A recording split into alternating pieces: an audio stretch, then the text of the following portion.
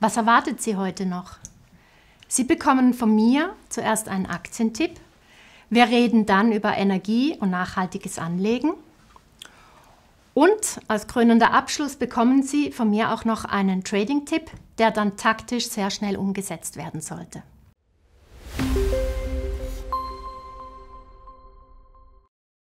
Willkommen zur zweiten Ausgabe des Börsencocktails der Finanz und Wirtschaft.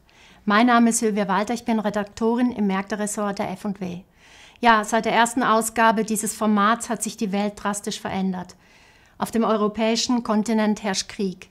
Die Volatilität an den Finanzmärkten ist sehr hoch und es gibt immer wieder Börsentage mit sehr deutlichen Korrekturen. Kommen wir zuerst zum Aktientipp.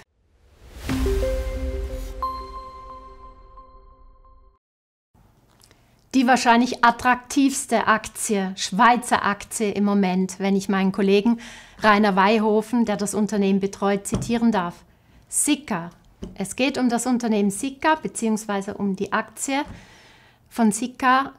Das Unternehmen ist in der Bauindustrie tätig, in über 100 Ländern aktiv, verfügt äh, über eine hohe Kundennähe, hat die führende Marktposition, sehr hohe Innovationskraft, Umsatzwachstum im zweistelligen Bereich. Im vergangenen Jahr lag das Umsatzwachstum bei 17,5 Prozent.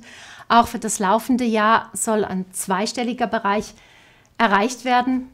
Das war natürlich vor dem Ukraine-Krieg. Dennoch, was das Unternehmen auszeichnet, ist eine sehr geschickte Akquisitionsstrategie. Allein im vergangenen Jahr hat Sika sieben Unternehmen übernommen. Dabei sind auch viele kleinere Unternehmen, die eben diese Kundennähe dann sichern.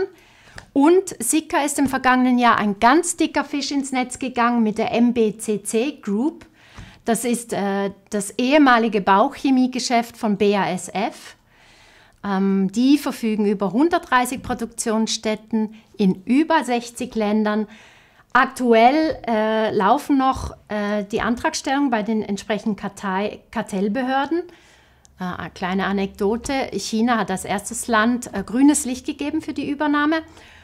Und auch diese Übernahme sichert die Marktposition von Sika nochmal ab und baut sie auch aus. Eine EBIT-Marge von 15 bis 18 Prozent ist ebenfalls sehr attraktiv. Ich möchte Ihnen aber die Achillesferse nicht unterschlagen, denn es gibt Abhängigkeiten des Bauunternehmens.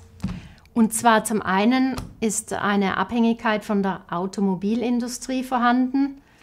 Sie wissen das, es gibt auch wieder Stress in den Lieferketten. Und die zweite Abhängigkeit besteht äh, im Bereich der Rohstoffe.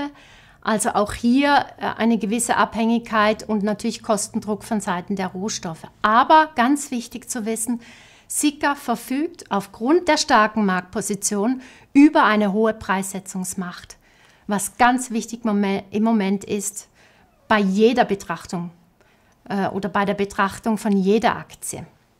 Ich möchte aber auch auf die F&W die Analyse hinweisen. Dort können Sie noch ganz viele Kennzahlen zu Sika, aber auch zu anderen Unternehmen abrufen.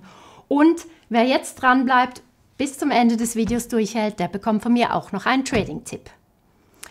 Jetzt reden wir aber über Energie und Rohstoffe. Wir haben es gesagt, Rohstoffe mit einer großen Kursrally im Moment und der Moment hält schon etwas länger an.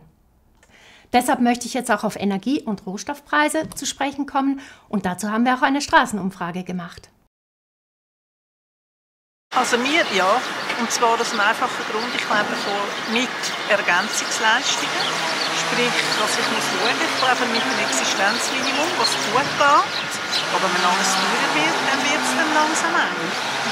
Das ist nur meine Hoffnung, dass die Energiepreise steigen. Die einzige Hoffnung. Aber ich selber bin auch abhängig davon. Ich habe auch ein eigenes Geschäft. Das ist Webhosting. Das ist auch voll von Energie abhängig. Wenn es einen Blackout gibt, dann kann ich das Geschäft zumachen. Dann, dann, also, dann werden noch viele andere zumachen. Darum mache ich mir auch nicht Sorgen. Dann wird sich eh alles verändern, wenn es öfters Blackouts gibt. Aber äh, steigen die Energiepreise kann ich nur befürchten. Rohöl der Nordseesorte Brent Heute Mittwochmorgen über 130 Dollar.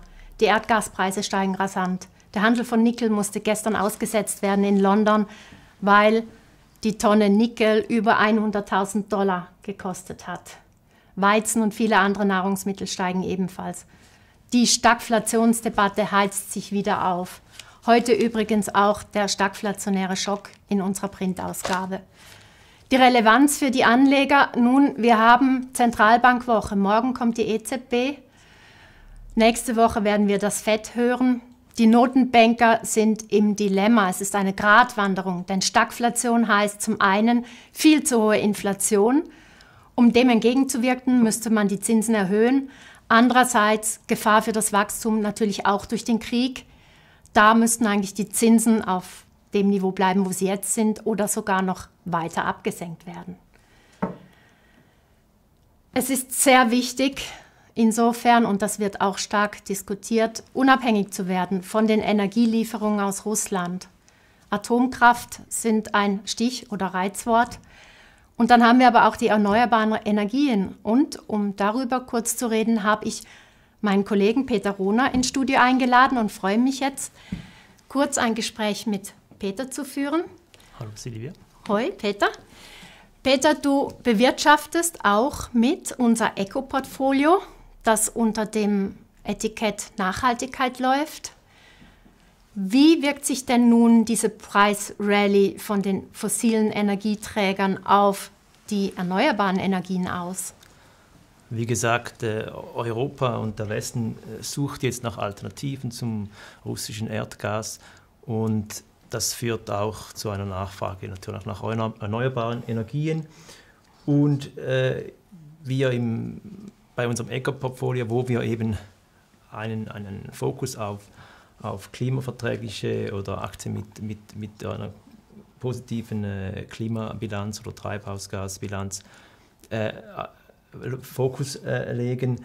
Da spielen eben diese, diese Titel auch eine Rolle. Wir haben derzeit eigentlich zwei klassische Solar- und Windkraftbetreiber da, dabei. Das sind Orsted und Encavis. Äh, Orsted aus Dänemark und Encavis etwas kleiner aus, aus Deutschland. Und die haben letztes Jahr gelitten äh, nach, dem, nach, nach dem Hype von 2020, sind jetzt aber auf einmal wieder gefragt, genau aus diesem Grund, weil zum Beispiel Deutschland bis 20, 2035 äh, nur noch äh, Strom aus erneuerbaren Quellen äh, haben möchte.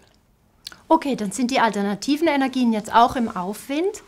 Aber kannst du kurz erklären, wie ihr überhaupt dieses Portfolio zusammensetzt? Was sind die Kriterien, die ihr anlegt? Ähm, das Eco-Portfolio ist eigentlich ein, ein ESG-Portfolio, wie es derzeit viele gibt. Aber wir fokussieren sehr stark auf das E, also das Ökologische, also die Klimaverträglichkeit ist wichtig und wir suchen eigentlich darin äh, Unternehmen, die entweder wenige Emissionen haben oder sich Mühe geben, glaubhaft, dass sie sie äh, senken können. Und das sind nicht, das ist kein Cleantech-Basket, äh, sondern da hat es auch äh, sogar äh, einen Bergbaukonzern drin, weil wir suchen auch die Besten von jeder Branche, also versuchen sie zu finden. Best in Class also. Und bist du mit der Performance glücklich? Die ist, die ist eigentlich sehr erfreulich, vor allem das erste, erste Jahr. Wir haben vor, äh, im Mai 2020 begonnen. Das verlief sehr, sehr positiv. Und auch bisher, also das hat den SMI geschlagen, der ist auch sehr träge gewesen. Gegenüber dem US-Index konnte es nicht mithalten, ähm, auch, äh, zum Teil auch wegen der Währung. Ja, besten Dank, Peter, für deine Ausführungen. Danke dir. Nachhaltige Energien bleiben ein Thema, auch in der ganz langen Frist. Schauen wir uns doch noch mal kurz an, wie das die Leute auf der Straße empfinden. Ja, dass man eine Alternative müsste finden. Also ich finde es ja, noch speziell, weil ich bin auch nicht dafür für USA. Ich finde alternative Energie wäre gut, dass wir uns ein bisschen unabhängiger machen. Die Schweiz, also ich glaube, ja, nur es ihn. Was das kommt wieder. Diese, diese, diese traurige Situation, Krieg und so weiter, wie das wieder sich entwickelt, dass sogar die Obersten da, wo hochintelligent ist, die können auch antworten, also ich kann auch.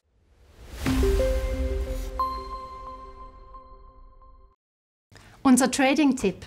Jetzt möchte ich einen Valor vorstellen, den man unter der Rubrik Trading-Tipp wahrscheinlich nicht unbedingt erwarten würde. Und zwar handelt es sich um den Schweizer Rückversicherer Swiss Re. Swiss Re hat ein KGV von 10, das ist eher auf der günstigen Seite. Es hat einen sehr diversifizierten Ertragsfluss. Was uns aber ganz besonders gefällt bei Swiss Re ist die üppige Kapitalausstattung. Denn diese dicke Kapitaldecke sichert die Dividende. Und aus heutiger Sicht beläuft sich das dann auf eine Dividendenrendite von nahezu 8% Vergleichen Sie diese 8% mit einem Coupon, den man auf einer Anleihe bekommt, dann erübrigt sich eigentlich äh, jeglicher Kommentar. Kommentare, die sich nicht erübrigen allerdings, hätten wir gern von Ihnen. Wie gefällt Ihnen das Format? Haben Sie Anregungen oder Wünsche? Damit wäre ich am Schluss angekommen. Bitte nutzen Sie die Kommentarspalte und wir hoffen, Sie nächsten Monat wieder begrüßen zu dürfen.